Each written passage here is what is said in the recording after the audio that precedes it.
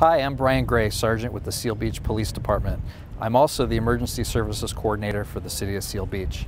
In recognizing September as National Preparedness Month, all Californians are encouraged to take simple steps to prepare for emergencies. Although tsunamis are rare, always stay alert if you live along coastlines and listen to local authorities if ordered to evacuate.